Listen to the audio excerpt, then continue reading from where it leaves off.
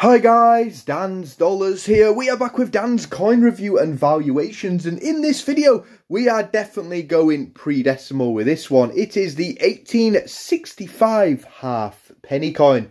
As always with the reviews on the channel, we'll start off with the design on the coin. We'll move on to the mintage figures, exactly how many of the coin was made for circulation. And then we'll finish off with the true value of the coin in perfect uncirculated and also in circulated conditions. So today we'll start off on the right hand side of the coin with the portrait of Queen Victoria looking to the left. We've got the lettering Victoria for Queen Victoria on the left hand side and the lettering around the top and down the right hand side of the coin stands for By the Grace of God, Queen of all Britons, Defender of the Faith. We now look to the left hand side of the coin where we see the Siege Britannia design, a definite fan favourite. We've got the trident in left hand with the shield bearing the Union flag in the right.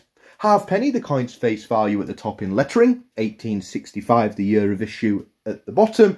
We've got the lighthouse to the left-hand side of the Britannia and the ship sailing away in the sea on the right. The Britannia design is still used in UK circulation today. It was on the 50 pence until 2008, until it got replaced with the segment of the shield, and it has been re-released from 2015 on the £2 coin. A really nice Britannia design, that one definitely standing out on the two different colours there on the £2 coin.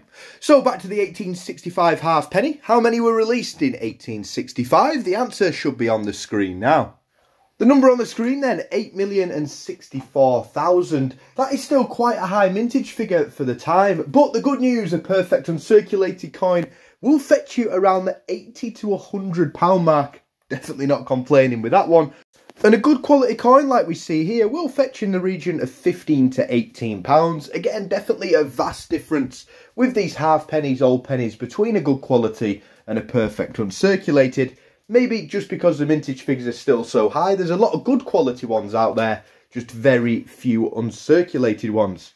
If your coin is in super worn condition, you're still going to get a couple of pounds for the coin. Again, it is over 150 years old, and a couple of pounds, not too bad, 400 times the coin's face value.